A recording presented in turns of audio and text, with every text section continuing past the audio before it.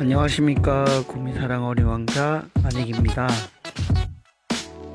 오늘은 구미를 대표하는 음식 선산곱창에서 맛있는 저녁을 먹었습니다.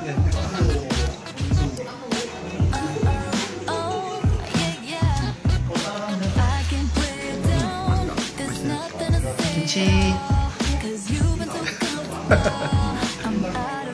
장구 줘라 김치 곱창을 대접받